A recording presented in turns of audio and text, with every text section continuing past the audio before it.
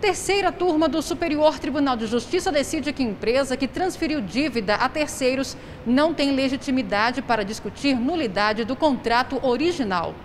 O colegiado manteve acordo do Tribunal de Justiça do Paraná, que considerou ilegítima para propor ação revisional de contrato bancário uma empresa que transferiu a dívida a terceiros, entregando toda a responsabilidade pela obrigação. No recurso ao STJ, a empresa sustentou que o devedor primitivo não perde o direito de reclamar contra o banco os danos que sofreu na vigência do contrato, pois ela teria transferido o domínio e a posse de imóveis como condição para que o terceiro assumisse a obrigação de pagar a instituição financeira.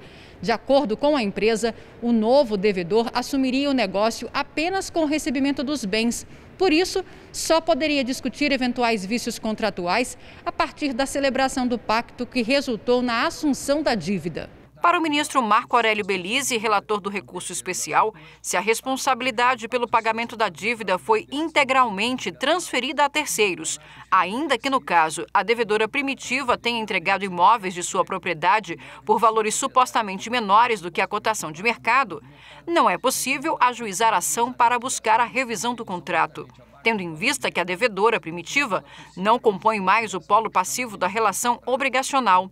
Desta forma, por unanimidade, a terceira turma entendeu que a transferência do débito foi feita nos moldes previstos pelo artigo 299 do Código Civil.